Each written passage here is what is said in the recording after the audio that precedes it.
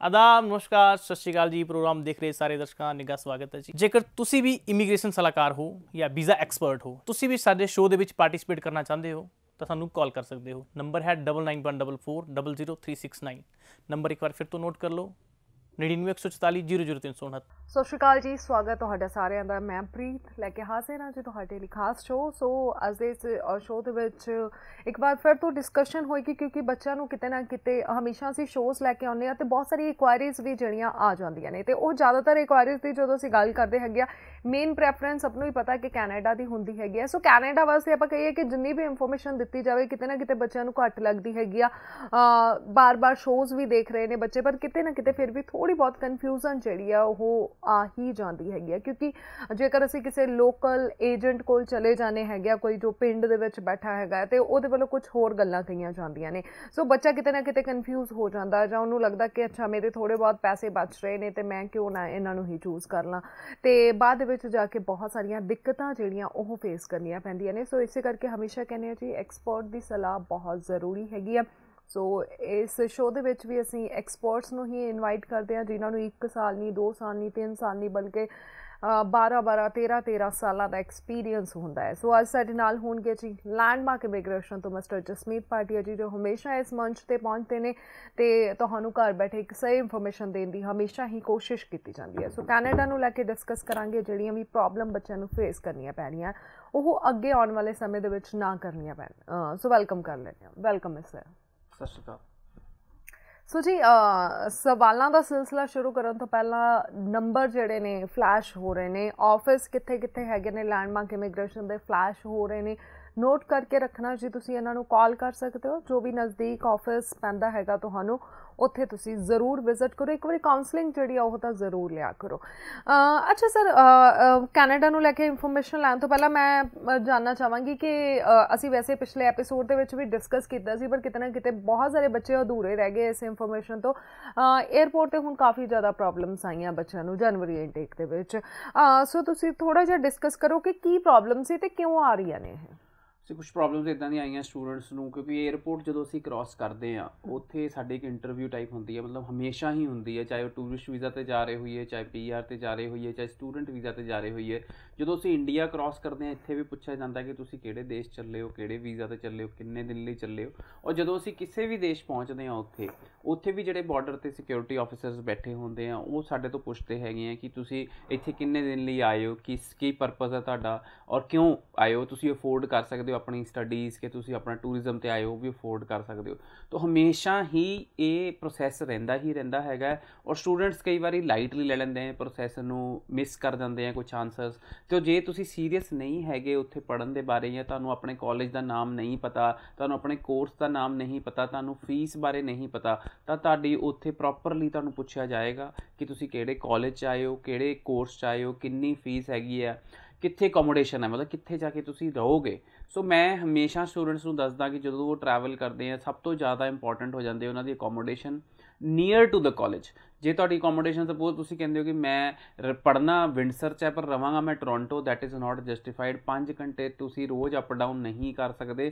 ਔਰ ਜੇ ਤੁਸੀਂ ਕਹੋਗੇ ਮੈਂ ਕਿਊਬੈਕ ਚ ਆਇਆ ਮੌਂਟਰੀਅਲ ਪੜ੍ਹਾਈ ਹੈ, ਮੇਰਾ ਕਾਲਜ ਹੈ ਬਟ ਮੈਂ ਰਵਾਂਗਾ Brampton that is also not justified so ਸਾਰੇ ਸਟੂਡੈਂਟਸ ਨੂੰ ਮੇਰੀ ਇਹੀ ਐਡਵਾਈਸ ਹੈਗੀ ਹੈ ਕਿ ਜੇ ਤੁਸੀਂ ਜਾ ਰਹੇ ਹੋ, ਤਾਂ ਤੁਹਾਨੂੰ ਨੀਅਰ ਯੋਰ ਕਾਲਜ ਅਕੋਮੋਡੇਸ਼ਨ ਚਾਹੀਦੀ ਹੈਗੀ ਹੈ। ਨਹੀਂ ਤਾਂ ਫਿਰ ਤੁਹਾਨੂੰ 에ਅਰਪੋਰਟ ਤੇ ਕਾਫੀ ਸਾਰੇ ਕੁਐਸਚਨਸ ਪੁੱਛੇ ਜਾ ਰਹੇ ਨੇ। ਤੁਹਾਨੂੰ ਉਹਨਾਂ ਸਾਰੇ ਕੁਐਸਚਨਸ ਦਾ ਪਤਾ ਹੋਣਾ ਚਾਹੀਦਾ। ਫਸਟ ਆਫ ਆਲ ਜਿਹੜੇ ਅਸੀਂ ਡਾਕੂਮੈਂਟਸ ਲੈ ਕੇ ਜਾਣੇ ਆ ਇੱਥੋਂ ਨਾਲ, ਉਹ ਸਾਰੇ ਸਟੂਡੈਂਟਸ ਨੂੰ ਧਿਆਨ 'ਚ ਰੱਖਣਾ ਚਾਹੀਦਾ ਕਿ origignal IELTS origignal educational documents LOA ਜਿਹੜੀ ਆਫਰ ਲੈਟਰ ਆਈ ਹੈ ਫੀ ਰਸੀਟ ਆਈ ਹੈ ਕਾਲਜ ਤੋਂ, ਹੋਰ ਜਿਹੜੇ ਵੀ ਤੁਹਾਡੇ origignal ਡਾਕੂਮੈਂਟ ਹੈਗੇ ਆ, ਤੁਹਾਡੇ ਹੱਥ 'ਚ ਹੋਣੇ ਚਾਹੀਦੇ ਆ, ਨਾ ਕਿ ਤੁਹਾਡੇ ਲੱਗੇਜ 'ਚ ਹੋਣੇ ਚਾਹੀਦੇ ਆ, ਕਿਉਂਕਿ ਉਹ ਸਾਰੇ ਡਾਕੂਮੈਂਟਸ ਚੈੱਕ ਕੀਤੇ ਜਾਣਗੇ ਜਦੋਂ ਤੁਸੀਂ ਕੈਨੇਡਾ ਪਹੁੰਚੋਗੇ। ਫਿਰ ਅਕੋਮੋਡੇਸ਼ਨ ਦਾ ਐਡਰੈਸ ਜਿਹੜਾ ਤੁਸੀਂ ਕਿੱਥੇ ਜਾ ਕੇ ਰਹਿਣਾ, ਕਿੰਨੇ ਦਿਨ ਲਈ ਰਹਿਣਾ, ਔਰ ਉਸ ਤੋਂ ਬਾਅਦ ਕੀ ਪਲੈਨਿੰਗ ਹੈ? ਔਰ ਹੁਣ ਕੁਝ ਕਿਊਬੈਕ ਚ ਜਿਹੜੇ ਸਟੂਡੈਂਟਸ ਜਾ ਰਹੇ ਉਹਨਾਂ ਨੂੰ ਇਹ ਵੀ ਪੁੱਛਿਆ ਜਾ ਰਿਹਾ ਕਿ how you will pay your next year fees so ਕਈ ਵਾਰੀ ਸਟੂਡੈਂਟਸ ਕਈ ਇਹਦਾ ਗਲਤ ਆਨਸਰ ਦੇ ਬੈਠਦੇ ਆ ਕਿ I will work here and pay my next year fees ਜਿਹੜਾ ਕਿ ਬਿਲਕੁਲ ਹੀ ਗਲਤ ਆਨਸਰ ਹੈ ਔਰ ਤੁਹਾਨੂੰ ਉੱਥੋਂ ਡਿਪੋਰਟ ਕੀਤਾ ਜਾ ਸਕਦਾ ਹੈ ਤੁਹਾਨੂੰ ਉੱਥੋਂ ਵਾਪਸ ਭੇਜਿਆ ਜਾ ਸਕਦਾ ਹੈ ਬਿਕੋਜ਼ ਜੇ ਤੁਸੀਂ ਉੱਥੇ ਪੜ੍ਹਨਾ ਤੁਹਾਡਾ ਮੋਟਿਵ ਨਹੀਂ ਹੈਗਾ ਤਾਂ ਫਿਰ ਤੁਹਾਨੂੰ ਸਟੂਡੈਂਟ ਵੀਜ਼ਾ ਦਿੱਤਾ ਹੀ ਕਿਉਂ ਗਿਆ ਸੋ ਸਾਰੇ ਸਟੂਡੈਂਟ ਸਾਰੇ ਪੇਰੈਂਟਸ ਨੂੰ ਮੇਰੀ ਇਹੀ ਐਡਵਾਈਸ ਹੈਗੀ ਹੈ ਕਿ ਫਰਸਟ ਮੋਟੋ ਜਿਹੜਾ ਸਟੂਡੈਂਟ ਦਾ ਹੋਣਾ ਚਾਹੀਦਾ ਹੈ ਜਾਂ ਸਭ ਤੋਂ ਜ਼ਿਆਦਾ ਇੰਪੋਰਟੈਂਸ ਜਿਹੜੀ ਚੀਜ਼ ਨੂੰ ਦੇਣੀ ਚਾਹੀਦੀ ਹੈ ਉਹ ਸਟੱਡੀਜ਼ ਨੂੰ ਦੇਣੀ ਚਾਹੀਦੀ ਹੈ ਔਰ ਜਦੋਂ ਤੁਸੀਂ 에ਅਰਪੋਰਟ ਤੇ ਪਹੁੰਚਦੇ ਹੋ ਇਹ ਸਾਰੀਆਂ ਗੱਲਾਂ ਚੈੱਕ ਹੁੰਦੀਆਂ, ਤੁਹਾਡੇ ਤੋਂ ਪੁੱਛਿਆ ਜਾਂਦਾ ਔਰ ਜੇ ਤੁਸੀਂ ਕੋਈ ਗਲਤ ਆਨਸਰ ਦਿੰਦੇ ਹੋ, ਤਾਂ ਫਿਰ ਤੁਹਾਨੂੰ ਇੰਟਰੋਗੇਸ਼ਨ ਵੀ ਹੋ ਸਕਦੀ ਹੈ ਔਰ ਤੁਹਾਨੂੰ ਬੋਲਿਆ ਜਾ ਸਕਦਾ ਹੈ ਕਿ ਤੁਸੀਂ ਵਾਪਸ ਚਲੇ ਜਾਓ ਆਪਣੇ ਦੇਸ਼। ਸੋ ਕੱਲ ਵੀ ਇੱਕ ਸਟੂਡੈਂਟ ਸੀ, ਸਾਡੇ ਸਾਨੂੰ ਨੌਲੇਜ 'ਚ ਆਇਆ ਕਿ ਇੱਕ ਸਟੂਡੈਂਟ ਮੌਂਟਰੀਅਲ ਪਹੁੰਚਿਆ। ਉਹ ਮੌਂਟਰੀਅਲ ਚ ਉਹਦਾ ਕਾਲਜ ਸੀ, ਪਰ ਜਿਹੜੀ ਉਹਨੇ ਅਕੋਮੋਡੇਸ਼ਨ ਬੁੱਕ ਕੀਤੀ ਹੋਈ ਸੀ, ਉਹ 4 ਘੰਟੇ ਦੂਰ ਸੀ ਕਾਲਜ ਤੋਂ। ਸੋ ਉਹਨੂੰ ਉਸ ਤੇ ਬਹੁਤ ਜ਼ਿਆਦਾ ਇੰਟਰੋਗੇਸ਼ਨ ਹੋਈ 12 ਘੰਟੇ 에ਅਰਪੋਰਟ ਤੇ ਬਿਠਾ ਕੇ ਰੱਖਿਆ। ਔਰ ਉਸ ਤੋਂ ਬਾਅਦ ਉਹਨੂੰ ਐਂਟਰ ਕਰਨ ਦਿੱਤਾ ਕੈਨੇਡਾ। ਔਰ ਇਹ ਸਾਰੀ ਮੁਸੀਬਤ ਜੇ ਤੁਸੀਂ ਨਹੀਂ ਅਵੋਇਡ ਕਰਨਾ ਚਾਹੁੰਦੇ ਹੋ, ਔਰ ਸਾਨੂੰ ਸਾਰੀਆਂ ਗੱਲਾਂ ਦਾ ਧਿਆਨ 'ਚ ਰੱਖਣਾ ਚਾਹੀਦਾ ਕਿ ਜਿਹੜੀ ਤੁਹਾਡੀ ਅਕੋਮੋਡੇਸ਼ਨ ਹੈ, ਉਹ ਨੀਅਰੈਸਟ ਟੂ ਕਾਲਜ ਹੋਣੀ ਚਾਹੀਦੀ ਹੈ। ਸੋ ਬਿਲਕੁਲ ਜੀ, ਇਹਨਾਂ ਚੀਜ਼ਾਂ ਦਾ ਧਿਆਨ ਰੱਖਣਾ ਕਿਤੇ ਨਾ ਕਿਤੇ ਬਹੁਤ ਜ਼ਰੂਰੀ ਹੈ। ਅੱਛਾ ਸਰ, ਹੁਣ ਜਿੱਦਾਂ ਕਿ ਜਨਵਰੀ ਇਨਟੇਕ ਤਾਂ ਲੰਘ ਗਿਆ, ਹੁਣ ਅਪ੍ਰੈਲ ਮਈ ਇਨਟੇਕ ਬੱਚਿਆਂ ਨੂੰ ਮਿਲਣਗੇ, ਤੇ ਹੁਣ ਬੱਚੇ ਕਿਹੜੀ ਤਿਆਰੀ ਦੇ ਨਾਲ ਆਉਣ ਤਾਂ ਕਿ ਬਾਅਦ ਦੇ ਵਿੱਚ ਉਹਨਾਂ ਨੂੰ ਦਿੱਕਤ ਫੇਸ ਨਾ ਕਰਨੀ ਪਵੇ, ਤੁਹਾਡੇ ਕੋਲ ਪਹੁੰਚਣਾ ਕਿਹੜੇ ਕਿਹੜੇ ਡਾਕੂਮੈਂਟਸ ਲੈ ਕੇ ਆਉਣ ਤੇ ਕੀ ਐਲੀਜੀਬਿਲਟੀ ਕ੍ਰਾਈਟੇਰੀਆ ਹੋਣਾ ਚਾਹੀਦਾ? ਸੀ ਜਿਹੜੇ ਅਪਕਮਿੰਗ ਇਨਟੇਕਸ ਹੈਗੇ ਆ, ਉਹ ਮਈ ਤੇ ਸਪਟੈਂਬਰ ਇਨਟੇਕ ਹੈ ਸਪਟੈਂਬਰ ਇਨਟੇਕ ਸਾਰੇ ਕਾਲਜਸ 'ਚ ਖੁੱਲ ਚੁੱਕੇ ਆ। ਤੁਹਾਡੇ 6 ਈਚ ਹੈ, ਤਾਂ ਵੀ ਸਾਰੇ ਆਪਸ਼ਨਸ ਓਪਨ ਹੋ ਚੁੱਕੇ ਆ। ਔਰ ਜੇ ਤੁਹਾਡੇ ਓਵਰਆਲ 6 ਬੈਂਡ ਹੈ ਤਾਂ ਵੀ ਬਹੁਤ ਸਾਰੀਆਂ ਆਪਸ਼ਨਸ ਓਪਨ ਹੋ ਚੁੱਕੀਆਂ ਪਰ ਜਿਹੜੀਆਂ ਆਪਸ਼ਨਸ ਓਪਨ ਹੋ ਰਹੀਆਂ, ਉਹ ਜਲਦੀ ਜਲਦੀ ਕਲੋਜ਼ ਵੀ ਹੋਈ ਜਾ ਰਹੀਆਂ ਨਾਲੋਂ ਨਾਲ। ਔਰ ਜੇ ਤੁਸੀਂ ਸੀਰੀਅਸਲੀ ਆਪਣਾ ਸਟੂਡੈਂਟ ਵੀਜ਼ਾ ਅਪਲਾਈ ਕਰਨਾ ਚਾਹੁੰਦੇ ਹੋ ਔਰ ਤੁਹਾਡੇ ਕੋਲ ਆਈਲੈਟਸ ਰਿਜ਼ਲਟ ਆ ਚੁੱਕਿਆ ਹੈ ਤਾਂ ਤੁਸੀਂ ਜਲਦੀ ਤੋਂ ਜਲਦੀ ਆਫਰ ਲਈ ਅਪਲਾਈ ਕਰ ਦਿਓ ਨਹੀਂ ਤਾਂ ਫਿਰ ਤੁਸੀਂ ਮਈ ਔਰ ਸਪਟੈਂਬਰ ਇਨਟੇਕ ਵੀ ਮਿਸ ਕਰ ਦੋਗੇ। ਸੋ ਜਿਹੜੇ ਵੀ ਸਟੂਡੈਂਟਸ ਹੁਣ ਤਿਆਰੀ ਕਰ ਰਹੇ ਆ, ਇੱਕ ਤਾਂ ਸਰ ਜੀਆਈਸੀ ਅਕਾਊਂਟ ਸਾਰਿਆਂ ਨੂੰ ਪਤਾ ਹੀ ਹੈ ਕਿ ਜੀਆਈਸੀ ਅਕਾਊਂਟ 'ਚ 10200 ਡਾਲਰ ਸਾਨੂੰ ਜਮ੍ਹਾਂ ਕਰਾਉਣਾ ਪੈਂਦਾ, ਜਿਹੜਾ ਕਿ ਰਿਫੰਡੇਬਲ ਹੁੰਦਾ ਸੋ ਜਦੋਂ ਤੁਸੀਂ ਉੱਥੇ ਪਹੁੰਚਦੇ ਹੋ ਤਾਂ ਤੁਹਾਨੂੰ 2000 ਡਾਲਰ ਮਿਲ ਜਾਂਦਾ ਔਰ ਬਾਕੀ ਮੰਥਲੀ 667 ਡਾਲਰਸ ਮੰਥਲੀ ਮਿਲਦੇ ਰਹਿੰਦੇ ਆ। ਇਸ ਤੋਂ ਇਲਾਵਾ ਪੂਰੇ ਸਾਲ ਦੀ ਫੀਸ ਸੋ ਅੱਜ ਦੀ ਡੇਟ 'ਚ ਨਿਊ ਬਰੂਨਸਵਿਕ ਕਮਿਊਨਿਟੀ ਕਾਲਜ 'ਚ ਸੀਟਸ ਅਵੇਲੇਬਲ ਹੈਗੀਆਂ ਫॉर ਸਪਟੈਂਬਰ ਇਨਟੇਕ ਜਿਹਦੀ ਫੀਸ ਸਿਰਫ 9000 ਡਾਲਰ ਹੈ ਸਾਲਾਨਾ। ਜਿਹਨੂੰ ਕਹਿ ਲਓ ਕਿ 5 ਲੱਖ ਤੋਂ ਵੀ ਥੱਲੇ ਸਾਲਾਨਾ ਫੀਸ ਹੈਗੀ ਹੈ ਜੇ ਤੁਸੀਂ ਨਿਊ ਬਰੂਨਸਵਿਕ ਕਮਿਊਨਿਟੀ ਕਾਲਜ 'ਚ ਜਾਣਾ ਚਾਹੁੰਦੇ ਹੋ, ਜੇ ਤੁਸੀਂ ਬੈਚਲਰ ਕਰਨਾ ਚਾਹੁੰਦੇ ਹੋ ਤਾਂ ਪ੍ਰਿੰਸ ਐਡਵਰਡ ਆਈਲੈਂਡ 'ਚ 13000 ਸਾਲ ਦੀ ਫੀਸ ਹੈਗੀ ਹੈ ਬੈਚਲਰ ਦੀ ਔਰ 4 ਸਾਲ ਦੀ ਫੀਸ 52000 ਡਾਲਰਸ ਹੈ। ਮੇਰੇ ਹਿਸਾਬ ਨਾਲ ਬਹੁਤ ਹੀ ਅਫੋਰਡੇਬਲ ਬੈਚਲਰ ਸਟੱਡੀਜ਼ ਹੈਗੀ ਹੈ University of Prince Edward Island the. University of New Brunswick ਚ ਵੀ ਸੀਟਸ ਓਪਨ ਹੈਗੀ ਹੈ ਜਿਹਦੀ ਵੀ ਫੀਸ 16000 ਡਾਲਰਸ ਹੈਗੀ ਹੈ।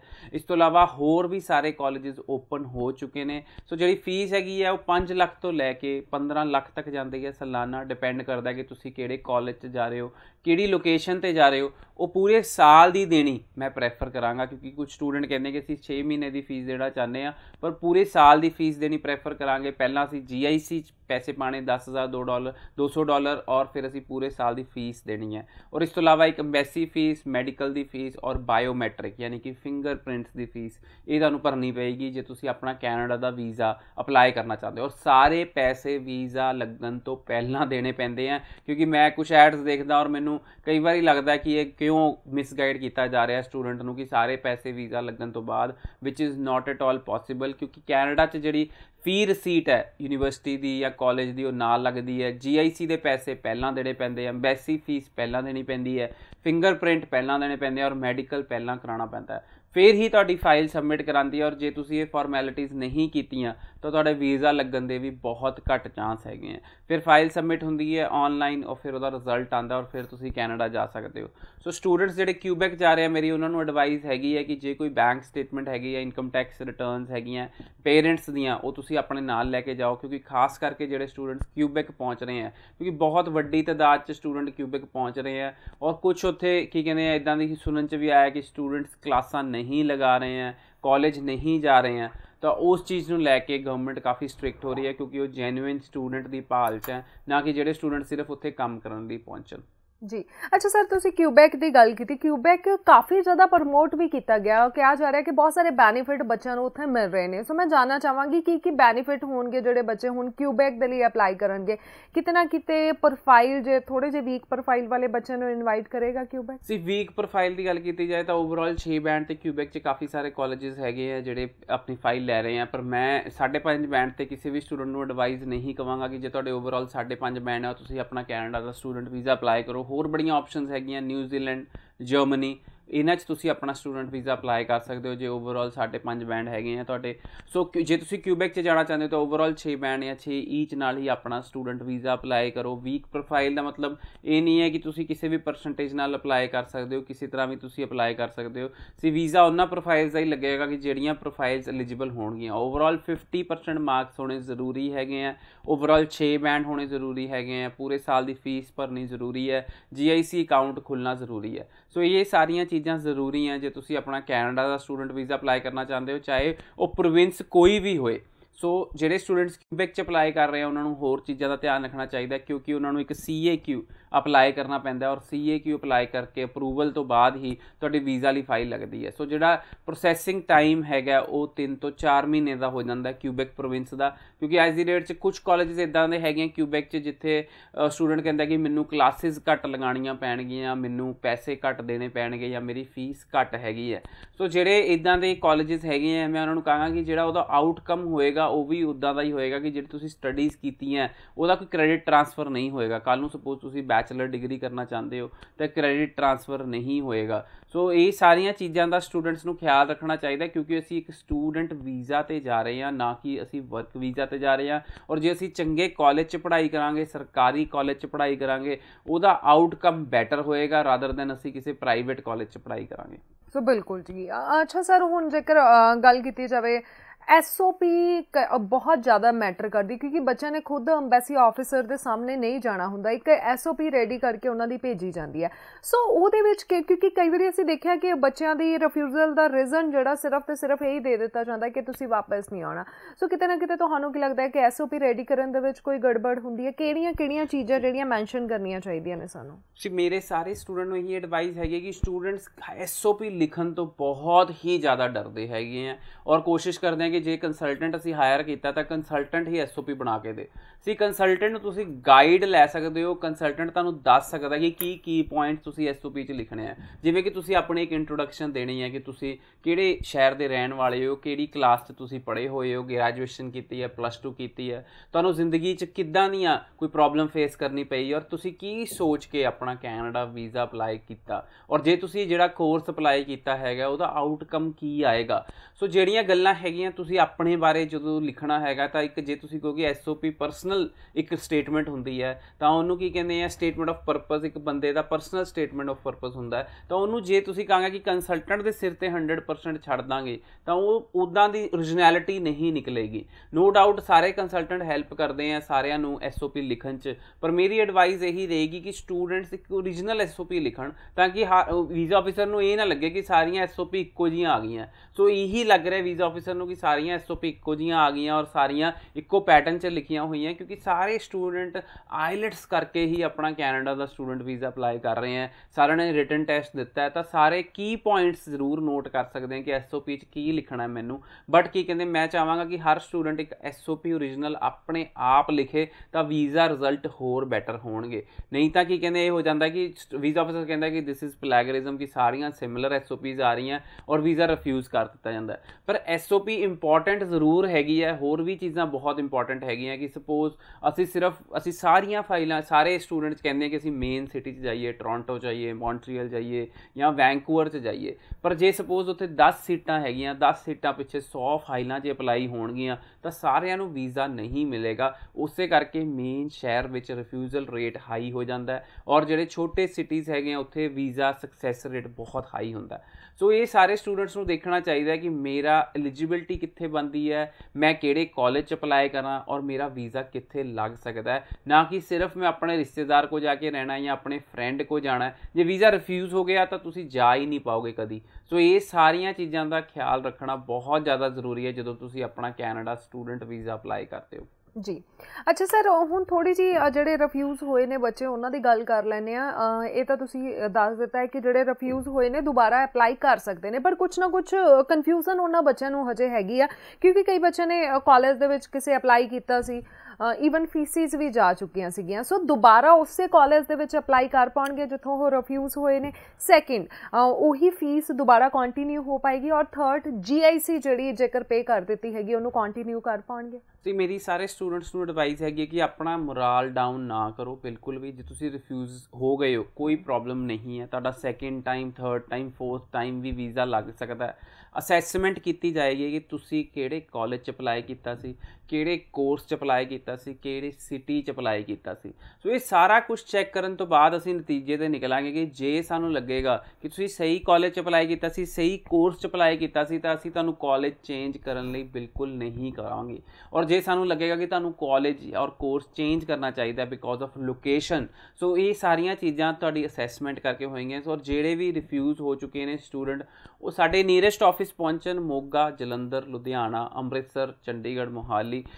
ਆਪਣੇ ਸਾਰੇ ਡਾਕੂਮੈਂਟਸ ਲੈ ਕੇ ਆਣ ਰਿਫਿਊਜ਼ਲ ਲੈਟਰ ਨਾਲ ਲੈ ਕੇ ਆਣ ਦੇਖਿਆ ਜਾਏਗਾ ਕਿ ਉਹਨਾਂ ਦੀ ਰਿਫਿਊਜ਼ਲ ਲੈਟਰ 'ਚ ਕੀ ਰੀਜ਼ਨ ਹੈਗਾ।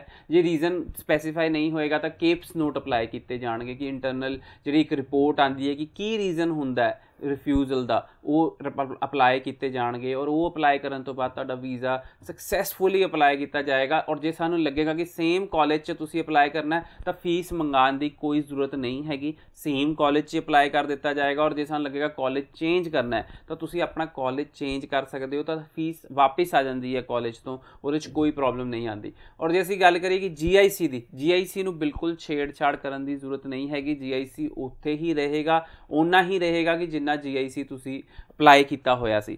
ਸੋ ਸਾਰੀਆਂ ਚੀਜ਼ਾਂ ਨੂੰ ਧਿਆਨ ਰੱਖਦਿਆਂ ਹੋਇਆ ਆਪਾਂ ਸਟੂਡੈਂਟ ਨੂੰ ਇਹੀ ਐਡਵਾਈਸ ਕਰਾਂਗੇ ਕਿ ਰਿਫਿਊਜ਼ ਹੋ ਚੁੱਕੇ ਹੋ, ਕੋਈ ਪ੍ਰੋਬਲਮ ਨਹੀਂ ਹੈ, ਦੂਜੀ ਵਾਰੀ, ਤੀਜੀ ਵਾਰੀ, ਚੌਥੀ ਵਾਰੀ ਵੀ ਵੀਜ਼ਾ ਲੱਗ ਸਕਦਾ ਸਾਡੇ ਕੋਲ ਬਹੁਤ ਸਾਰੇ ਸਟੂਡੈਂਟਸ ਹੈਗੇ ਆ ਜਿਨ੍ਹਾਂ ਦਾ 6-6 ਵਾਰੀ ਰਿਫਿਊਜ਼ਲ ਤੋਂ ਬਾਅਦ ਵੀ ਵੀਜ਼ਾ ਲੱਗਾ ਸੋ ਬਿਲਕੁਲ ਜੀ। ਕੈਨੇਡਾ ਨੂੰ ਲੈ ਕੇ ਗੱਲ ਹੋ ਰਹੀ ਹੈ ਜੀ। ਆਈ ਹੋਪ ਕਿ ਨੰਬਰ ਤੁਸੀਂ ਨੋਟ ਕਰ ਲਏ ਹੋਣਗੇ।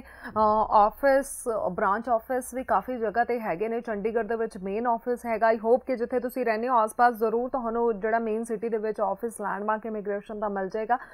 ਸੋ ਇਹੀ ਚਾਹਾਂਗੇ ਕਿ ਇੱਕ ਵਾਰੀ ਵਿਜ਼ਿਟ ਕਰੋ ਕਾਉਂਸਲਿੰਗ ਲੋ ਹਮੇਸ਼ਾ ਅਸੀਂ ਬਾਰ-ਬਾਰ ਸ਼ੋਜ਼ ਦੇ ਵਿੱਚ ਕਹਿੰਦੇ ਆ ਕਿ ਜਦੋਂ ਤੁਸੀਂ ਅਪਲਾਈ ਕਰਨਾ ਹੁੰਦਾ ਹੈ ਤਿੰਨ ਚਾਰ ਜਗ੍ਹਾ ਇੱਕ ਟਾਈਮ ਕੱਢ ਲਓ, ਇੱਕ ਹਫਤਾ 10 ਦਿਨ ਆਪਣੇ ਲਈ ਖੁਦ ਲਈ ਕੱਢ ਲਓ ਇੰਟਰਨੈਟ ਤੋਂ ਸਰਚ ਕਰੋ, ਫਿਰ ਚਾਰ ਪੰਜ ਕੰਸਲਟੈਂਟ ਦੇ ਕੋਲ ਜਾ ਕੇ ਕਾਉਂਸਲਿੰਗ ਲਓ, ਫਿਰ ਜੋ ਤੁਹਾਨੂੰ ਬੈਸਟ ਲੱਗਦਾ ਹੈਗਾ ਤੁਸੀਂ ਅਪਲਾਈ ਕਰੋ ਉਹਨਾਂ ਦਾ YouTube ਚੈਨਲ ਤੇ ਜਾ ਕੇ ਦੇਖੋ, ਉਹਨਾਂ ਦਾ Facebook ਪੇਜ ਜਿਹੜੇ ਅੱਜ ਦੇ ਟਾਈਮ ਦੇ ਵਿੱਚ ਹਰ ਕੰਪਨੀ ਦਾ ਬਣਿਆ ਹੁੰਦਾ, ਉੱਥੇ ਜਾ ਕੇ ਦੇਖੋ ਕਿੰਨੇ ਕੁ ਵੀਜ਼ਾ ਆ ਰਹੇ ਨੇ, ਕਿਦਾਂ ਦੇ ਪ੍ਰੋਫਾਈਲ ਦੇ ਵੀਜ਼ਾ ਆ ਰਹੇ ਨੇ। ਅੱਛਾ ਸਰ ਕੋਰਸਿਸ ਨੂੰ ਲੈ ਕੇ ਜਦੋਂ ਨਾ ਬੱਚਿਆਂ ਨੂੰ ਵੀ ਲੱਗਦਾ ਠੀਕ ਹੈ, ਜਿਹੜਾ ਮਰਜ਼ੀ ਕੋਰਸ ਦੇ ਦਿਓ, ਮੇਰਾ ਮਕਸਦ ਤਾਂ ਕੈਨੇਡਾ ਪਹੁੰਚਣਾ ਹੈਗਾ। ਸੋ ਤੁਸੀਂ ਕੀ ਮੰਨਦੇ ਹੋ?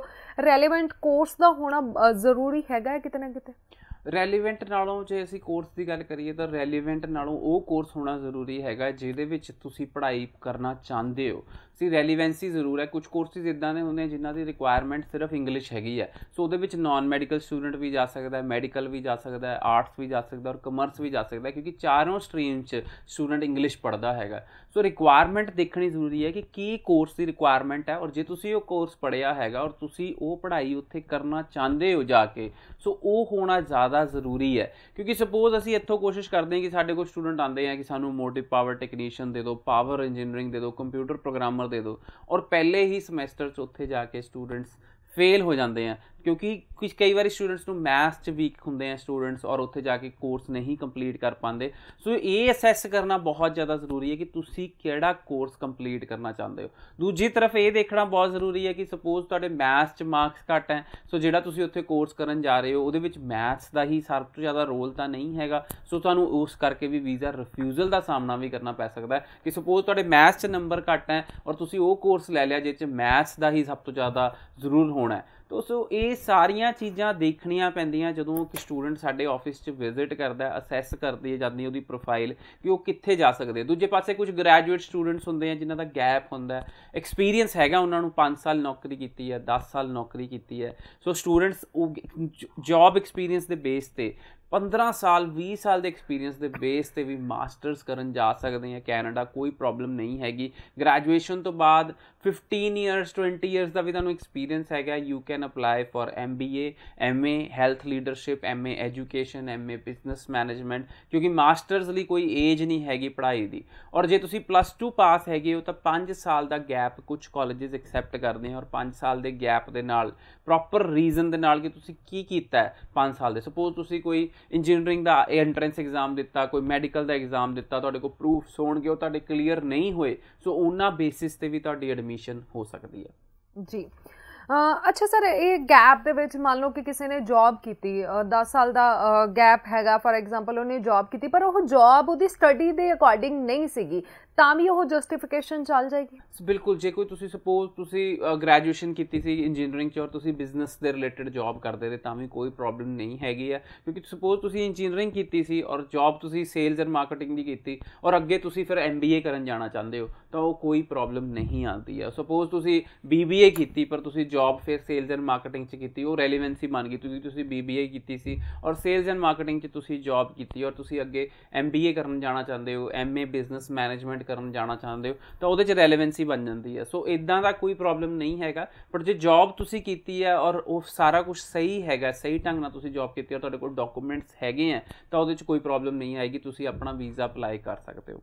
ਅੱਛਾ ਸਰ ਹੁਣ ਜਿਹੜੇ ਬੱਚਿਆਂ ਨੇ ਜਾਣਾ ਹੈਗਾ ਚਾਹੇ ਮਈ ਇਨਟੇਕ ਦੀ ਗੱਲ ਕਰਦੇ ਆ ਚਾਹੇ ਸਤੰਬਰ ਇਨਟੇਕ ਦੀ ਗੱਲ ਕਰਦੇ ਆ ਸੋ ਮੇਨ ਕਿਹੜੀਆਂ ਉਹਨਾਂ ਨੂੰ ਸਿਟੀਜ਼ ਤੁਸੀਂ ਸੁਜੈਸਟ ਕਰੋਗੇ? ਕਿ ਕਿਤੇ ਨਾ ਕਿਤੇ ਬੱਚਿਆਂ ਦੀ ਪ੍ਰੈਫਰੈਂਸ ਹੁੰਦੀ ਵੀ ਇੱਥੇ ਸਾਡਾ ਰਿਸ਼ਤੇਦਾਰ ਹੈ, ਇੱਥੇ ਤੁਸੀਂ ਭੇਜ ਦਿਓ, ਪਰ ਉੱਥੇ ਜਾ ਕੇ ਉਹਨਾਂ ਨੂੰ ਬੈਨੀਫਿਟ ਨਹੀਂ ਮਿਲ ਪਾਉਂਦਾ। ਸੋ ਦੇਖੋ ਜੀ, ਅੱਜ ਦੀ ਡੇਟ 'ਤੇ ਅਸੀਂ ਗੱਲ ਕਰੀਏ ਤਾਂ ਸਸਕੈਚੁਅਨ ਵਿੱਚ ਸਸਕਾਟੂਨ ਰਜਾਇਨਾ ਸਿਟੀ ਵਿੱਚ University of Regina Saskatchewan Polytechnic ਕਿਉਂਕਿ ਸਸਕੈਚੁਅਨ ਇੱਕ ਬਹੁਤ ਹੀ ਵਧੀਆ ਪ੍ਰੋਵਿੰਸ ਹੈਗਾ ਜੇ ਸੈਟਲਮੈਂਟ ਦੀ ਅਸੀਂ ਗੱਲ ਕੀਤੀ ਜਾਏ। ਔਰ ਸਸਕੈਚੁਅਨ ਵਿੱਚ ਸੈਟਲਮੈਂਟ ਬਹੁਤ ਆਸਾਨ ਹੈਗੀ ਹੈ, ਜਿਹੜੇ ਸਟੂਡੈਂਟਸ ਪੜਨ ਜਾਂਦੇ ਆ। ਸੋ 960 ਆਵਰਸ ਦਾ ਵਰਕ ਐਕਸਪੀਰੀਅੰਸ ਚਾਹੀਦਾ ਸਿਰਫ ਪੀਆਰ ਲੈਣ ਲਈ। ਔਰ ਸਸਕੈਚੁਅਨ ਵਿੱਚ ਜਿਹੜਾ ਤੁਸੀਂ ਵਰਕ ਕਰਦੇ ਹੋ ਪਾਰਟ ਟਾਈਮ ਆਪਣੀ ਪੜ੍ਹਾਈ ਦੇ ਦੌਰਾਨ, ਉਹ ਵੀ ਤੁਹਾਡੇ ਵਰਕ ਐਕਸਪੀਰੀਅੰਸ 'ਚ ਕਾਊਂਟ ਹੁੰਦਾ ਔਰ ਕਿਸੇ ਵੀ ਪ੍ਰੋਵਿੰਸ 'ਚ ਇਹ ਚੀਜ਼ ਨਹੀਂ ਵੈਲਿਡ ਹੈਗੀ। ਸੋ ਸਸਕੈਚੁਅਨ ਮੈਂ ਸਾਰੇ ਸਟੂਡੈਂਟਸ ਨੂੰ ਇੱਕ ਵਾਰੀ ਕਹਾਂਗਾ ਕਿ ਜਰੂਰ ਚੂਜ਼ ਕਰਨ ਸਸਕੈਚੁਅਨ ਪੋਲੀਟੈਕਨਿਕ ਚੂਜ਼ ਕਰਨ ਅਲਬਰਟਾ ਵਿੱਚ ਐਡਮਿੰਟਨ ਸ਼ਹਿਰ ਵਿੱਚ ਕਾਫੀ ਜ਼ਿਆਦਾ ਸਟੂਡੈਂਟਸ ਜਾਣਾ ਚਾਹੁੰਦੇ ਆ। ਸੋ ਨੌਰਕੁਐਸਟ ਕਾਲਜ ਦੀਆਂ ਕੁਝ ਸੀਟਾਂ ਅਵੇਲੇਬਲ ਹੈਗੀਆਂ right now for September intake ਔਰ ਉਹਦੇ ਵਿੱਚ ਵੀ ਤੁਸੀਂ ਅਪਲਾਈ ਕਰ ਸਕਦੇ ਹੋ ਨੌਰਕੁਐਸਟ ਕਾਲਜ ਵਿੱਚ।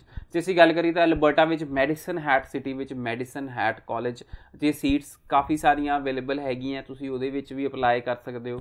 ਸੋ ਜੇ ਅਸੀਂ ਗੱਲ ਕਰੀਏ ਨਿਊ ਬਰੂਨਜ਼ਵਿਕ ਦੀ New Brunswick Community College New Brunswick province ਜਿਹੜਾ ਕਿ ਅਟਲਾਂਟਿਕ ਇਮੀਗ੍ਰੇਸ਼ਨ ਪਾਇਲਟ ਪ੍ਰੋਗਰਾਮ ਦੇ ਅੰਦਰ ਆ ਜਾਂਦਾ ਹੈ ਐਨਬੀਸੀਸੀ ਉਹਦੇ ਵਿੱਚ ਸਪਟੈਂਬਰ ਇਨਟੇਕ ਦੀਆਂ ਸੀਟਸ ਅਵੇਲੇਬਲ ਹੈਗੀਆਂ ਆਫਰਸ ਵੀ ਆ ਰਹੀਆਂ, ਤੁਸੀਂ ਉਹਦੇ 'ਚ ਅਪਲਾਈ ਕਰ ਸਕਦੇ ਹੋ।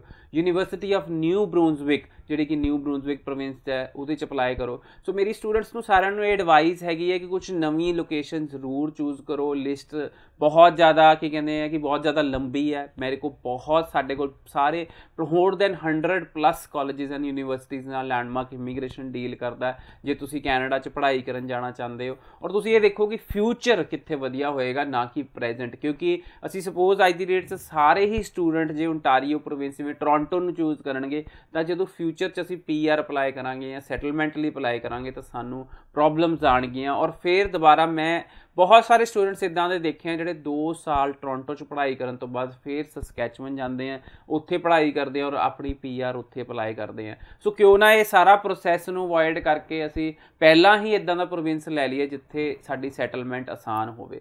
ਫਿਰ ਉਸ ਤੋਂ ਬਾਅਦ North Island College British Columbia ਵਿੱਚ ਕੂਟਨੇ ਸ਼ਹਿਰ ਹੈਗਾ ਨਾਰਥ ਆਈਲੈਂਡ ਕਾਲਜ ਉੱਥੇ ਤੁਸੀਂ ਪੜਨ ਜਾ ਸਕਦੇ ਹੋ। ਇਸ ਤੋਂ ਇਲਾਵਾ ਬ੍ਰਿਟਿਸ਼ ਕੋਲੰਬੀਆ, ਜੇ ਤੁਸੀਂ ਵੈਂਕੂਵਰ 'ਚ ਜਾਣਾ ਚਾਹੁੰਦੇ ਹੋ ਐਸੋਸੀਏਟ ਡਿਗਰੀ ਆਰਟਸ ਕਰਨਾ ਚਾਹੁੰਦੇ ਹੋ, ਤਾਂ ਯੂਨੀਵਰਸਿਟੀ ਆਫ ਕੈਨੇਡਾ ਵੈਸਟ ਤੁਸੀਂ ਪੜਨ ਜਾ ਸਕਦੇ ਹੋ। ਐਮਬੀਏ ਕਰਨਾ ਚਾਹੁੰਦੇ ਹੋ, ਤਾਂ ਯੂਨੀਵਰਸਿਟੀ ਆਫ ਕੈਨੇਡਾ ਵੈਸਟ ਦੀ ਬਹੁਤ ਹੀ ਵਧੀਆ ਸਕਾਲਰਸ਼ਿਪ ਸਕੀਮ ਹੈਗੀ ਹੈ ਸਟੂਡੈਂਟਸ ਵਾਸਤੇ, ਤੁਸੀਂ ਉਹਦੇ 'ਚ ਪੜਨ ਜਾ ਸਕਦੇ ਹੋ। ਉਸ ਤੋਂ ਇਲਾਵਾ ਕੁਆਂਟਲਮ ਪੋਲੀਟੈਕਨਿਕ ਯੂਨੀਵਰਸਿਟੀ ਸਰੀ ਵਿੱਚ, ਜਿਹੜੀ ਕਿ ਫੇਵਰਿਟ ਡੈਸਟੀਨੇਸ਼ਨ ਹੈ ਸਟੂਡੈਂਟਸ ਦੀ, ਉਹਦੇ ਸਪਟੈਂਬਰ ਇਨਟੇਕ ਦੀਆਂ ਸੀਟਸ ਅਵੇਲੇਬਲ ਹੈਗੀਆਂ। ਤੁਸੀਂ ਉਹਦੇ 'ਚ ਤੁਸੀਂ ਪੜਨ ਜਾ ਸਕਦੇ ਹੋ। ਫਿਰ ਅਸੀਂ ਗੱਲ ਕਰੀਏ ਟ੍ਰੈਂਟ ਯੂਨੀਵਰਸਿਟੀ ਜਿਹੜੀ ਕਿ ਓਨਟਾਰੀਓ ਵਿੱਚ ਪੀਟਰਸਬਰੋ ਸ਼ਹਿਰ 'ਚ ਹੈਗੀ ਹੈ, ਉਹਦੇ 'ਚ ਤੁਸੀਂ ਪੜਨ ਜਾ ਸਕਦੇ ਹੋ। ਸੋ ਲਿਸਟ ਬਹੁਤ ਲੰਬੀ ਹੈ, ਬਹੁਤ ਸਾਰੀਆਂ ਆਪਸ਼ਨਸ ਅਵੇਲੇਬਲ ਹੈਗੀਆਂ ਸਟੂਡੈਂਟਸ ਵਾਸਤੇ ਯੂਨੀਵਰਸਿਟੀਜ਼ ਵਿੱਚ ਵੀ ਕਾਲਜਸ ਵਿੱਚ ਵੀ, ਆਉਣ ਵਾਲੇ ਇਨਟੇਕਸ ਮਈ ਔਰ ਸਪਟੈਂਬਰ ਵਿੱਚ ਵੀ। ਸੋ ਤੁਸੀਂ ਜਲਦੀ ਆਪਣਾ ਮਨ ਬਣਾਓ, ਜੇ ਤੁਸੀਂ ਆਈਲੈਟਸ ਕੀਤੀ ਹੋਈ ਹੈ, ਸਾਡੇ ਨੀਅਰੈਸਟ ਆਫਿਸ 'ਚ ਪਹੁੰਚੋ ਪ੍ਰੋਪਰ ਅਸੈਸਮੈਂਟ ਕਰਕੇ ਤੁਸੀਂ ਆਪਣਾ ਕੇਸ ਅਪਲਾਈ ਕਰ ਸਕਦੇ ਹੋ। ਸੋ ਬਿਲਕੁਲ ਜੀ, ਜੋ ਵੀ ਇਸ ਟਾਈਮ ਦਾ ਤੁਹਾਡਾ ਪ੍ਰੋਫਾਈਲ ਹੈਗਾ, ਪਹੁੰਚੋ ਜੀ ਆਫਿਸ ਨਜ਼ਦੀਕ ਹੀ ਤੁਹਾਡੇ ਹੋਣਗੇ ਫਲੈਸ਼ ਵੀ ਹੋ ਰਹੇ ਨੇ ਕਿੱਥੇ ਕਿੱਥੇ ਹੈਗੇ ਨੇ ਨੰਬਰ ਤੁਹਾਡੇ ਕੋਲ ਆ ਗਏ ਨੇ। ਜ਼ਰੂਰ ਆਪਣੇ ਡਾਕੂਮੈਂਟਸ ਨੂੰ ਲੈ ਕੇ ਪਹੁੰਚੋ ਤੇ ਵੀ ਹੋਪ ਕਿ ਹੁਣ 2020 ਦੇ ਵਿੱਚ ਤੁਹਾਡਾ ਕੈਨੇਡਾ ਜਾਣ ਦਾ ਸੁਪਨਾ ਜਿਹੜਾ ਜ਼ਰੂਰ ਸਾਕਾਰ ਹੋਏਗਾ। ਕੈਨੇਡਾ ਹੀ ਨਹੀਂ ਬਲਕਿ ਜੇਕਰ ਕਿਸੇ ਹੋਰ ਕੰਟਰੀ ਦੇ ਵਿੱਚ ਜਾਣਾ ਚਾਹੁੰਦੇ ਹੋ ਤਾਂ ਵੀ ਤੁਸੀਂ ਲੈਂਡਮਾਰਕ ਇਮੀਗ੍ਰੇਸ਼ਨ ਦੇ ਆਫਿਸ ਦੇ ਵਿੱਚ ਆ ਕੇ ਇੱਕ ਪ੍ਰੋਪਰ ਜਾਣਕਾਰੀ ਜਿਹੜੀ ਆ ਉਹ ਲੈ ਸਕਦੇ ਹੋ। So thank you so much sir thank you so much so ਇਸੇ ਦੇ ਨਾਲ ਮੈਨੂੰ ਪ੍ਰੀਤ ਨੂੰ ਵੀ ਦਿਓ ਇਜਾਜ਼ਤ। ਅਗਲੇ ਸ਼ੋਅ ਦੇ ਵਿੱਚ ਹੋਰ ਬਹੁਤ ਸਾਰੀ ਜਾਣਕਾਰੀ ਲੈ ਕੇ ਹੋਵਾਂਗੇ ਹਾਜ਼ਰ। ਸਤਿ ਸ਼੍ਰੀ ਅਕਾਲ। ਆਦਾਬ, ਨਮਸਕਾਰ, ਸਤਿ ਸ਼੍ਰੀ ਅਕਾਲ ਜੀ। ਪ੍ਰੋਗਰਾਮ ਦੇਖ ਰਹੇ ਸਾਰੇ ਦਰਸ਼ਕਾਂ ਨਿੱਘਾ ਸਵਾਗਤ ਹੈ ਜੀ। ਜੇਕਰ ਤੁਸੀਂ ਵੀ ਇਮੀਗ੍ਰੇਸ਼ਨ ਸਲਾਹਕਾਰ ਹੋ ਜਾਂ ਵੀਜ਼ਾ ਐਕਸਪਰਟ ਹੋ, ਤੁਸੀਂ ਵੀ ਸਾਡੇ ਸ਼ੋਅ ਦੇ ਵਿੱਚ ਪਾਰਟਿਸਿਪੇਟ ਕਰਨਾ ਚਾਹੁੰਦੇ ਹੋ, ਤਾਂ ਸਾਨੂੰ ਕਾਲ ਕਰ ਸਕਦੇ ਹੋ। ਨੰਬਰ ਹੈ 9914400369 ਨੰਬਰ ਇੱਕ ਵਾਰ ਫਿਰ ਤੋਂ ਨੋਟ ਕਰ ਲਓ। 9914400369